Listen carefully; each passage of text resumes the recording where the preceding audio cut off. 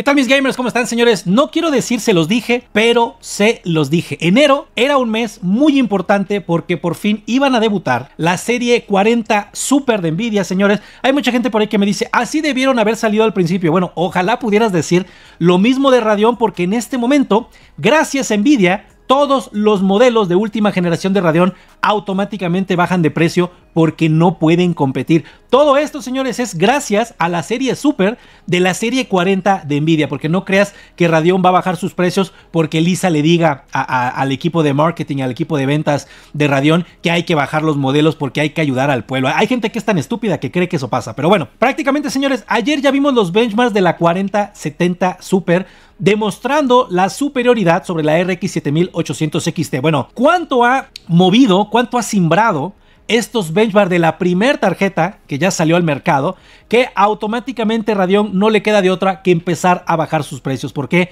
Porque Radeon no puede competir. Acuérdate que Radeon lo único que te está ofreciendo es el rasterizado. No te está ofreciendo ninguno de los seis, seis demás aspectos. Y ahora resulta, señores, que después de ver, es que mira, tienen, tienen que ver este slide, por ejemplo, de Avatar Frontiers of Pandora un juego súper esponsoreado de AMD con este bloqueo asqueroso que está haciendo Radeon, donde de verdad en pleno 2024 me sorprende que exista gente tan resentida, tan jodida y tan mediocre para aplaudir este tipo de bloqueos que no benefician en nada a la comunidad, ¿vale? ¿Qué podemos ver en Avatar Frontiers of Pandora en 2K en Ultra?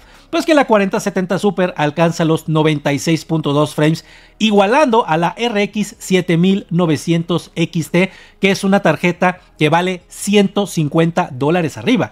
Es increíble lo que está pasando en estos momentos con la serie Super. Y es que, señores, hay gente que se ha atrevido a escribirme a decirme que no, que la RX 7800 XT sigue siendo superior, superior en este caso a la 4070 Super. Bueno, Basta simplemente con venir a Tom's Hardware que no usa juegos esponsoreados de Radeon, por eso nos gustan los, los benchmarks de Tom's Hardware. Y podemos ver que nueve juegos en rasterización en 2K en Ultra, bueno, la 4070 Super se mantiene en 113 frames en promedio, mientras que la RX 7800 XT 104 frames. Estamos hablando de una ventaja del 10% en promedio. Acuérdate que en estos canales eh, sectarios mediocres el ray tracing no vale la pena, es que a mí no me gusta el ray tracing, es que el puro músculo, todos los argumentos mediocres que se tienen que utilizar, eh, argumentos eh, sectarios de, fanáticos mediocres para seguir aplaudiendo simplemente el rasterizado de Radeon cuando ya tenemos casi 4 o 5 años con la tecnología RTX. Bueno, 6 juegos en 2K, señores, en Ultra, la 4070 Super fácilmente supera a la RX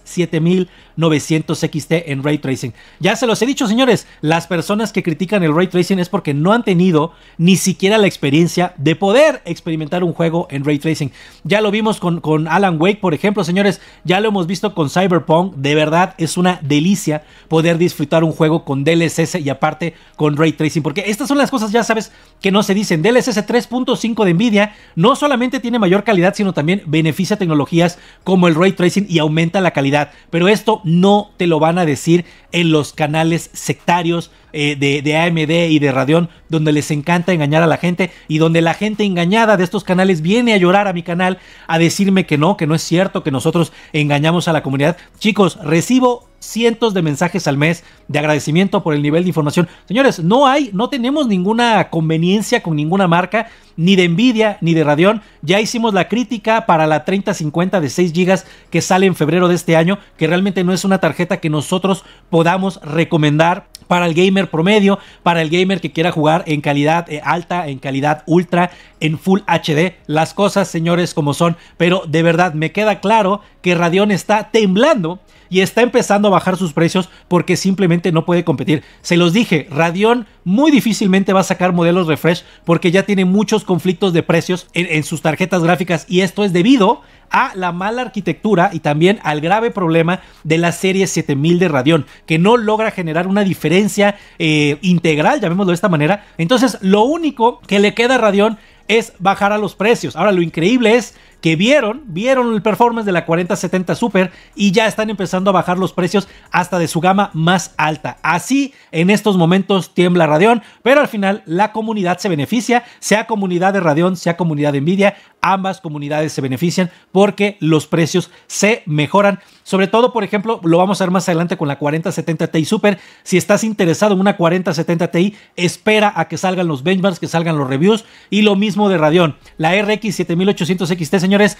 va a tener que bajar de precio. No pueden competir contra Nvidia en este momento. Radeon tiembla, señores, como gelatina. Esto era algo que ya se esperaba. Lo curioso es cómo se le exige que los refresh de Nvidia debieron ser los originales, pero curiosamente del lado de Radeon no hay esta crítica. ¿Por qué? Porque lamentablemente hay mucho fanático mediocre que no tiene dignidad, que no puede analizar los datos duros y así como le exigen Nvidia, muy curiosamente no le exigen a Radeon. Bueno, señores, así las cosas el día de hoy. Nos vemos hasta el siguiente video.